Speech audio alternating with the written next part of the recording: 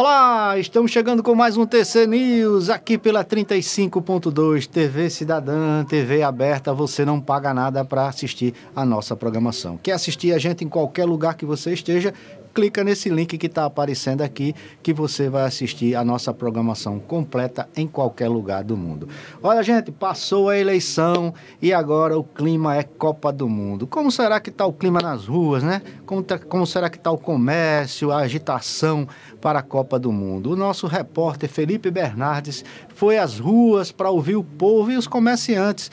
Vamos ver agora como é que está esse clima. Após o fim das eleições, onde dividiu o país, os brasileiros podem voltar a se unir e sorrir com a Copa do Mundo. O comércio está aquecido nesse momento. A venda de bandeiras e de camisas estão em alta, com a eminência da estreia do Brasil na competição. Os comerciantes estão animados. Estamos com tudo, investindo, né? É, depois das eleições, é, amarela caiu mais um pouco, mas estamos vendendo normal. Tá ótimo, tá maravilhoso.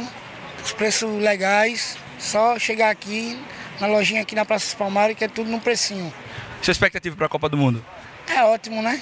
Tá maravilha, velho. Conseguir ganhar a Copa do Mundo e boas vendas para todos, né? Fábio Souza é comerciante e está sempre de olho nas vendas de camisas e bandeiras. Show de bola, tá vendendo bastante, viu? Até colegas meus perguntam de fora quem tem um preço legal para vir comprar. Tá show de bola. Agora a expectativa é boa mesmo para a Copa do Mundo. Jonathan gostou muito da convocação. Ah, eu gostei, achei excelente. Foi uma boa escalação. Gostei muito que o Pedro foi convocado. E vamos na torcida aí para frente, né? Sua expectativa para a Copa do Mundo? Cara, eu, minha expectativa é no mínimo três gols, três para cima em cada jogo. Que é Brasil, né? Vai dar Brasil? Com certeza, com certeza. Como diz aquele famosão, né? Receba. A Copa do Mundo começa para o Brasil no próximo dia 24 de novembro contra a Sérvia.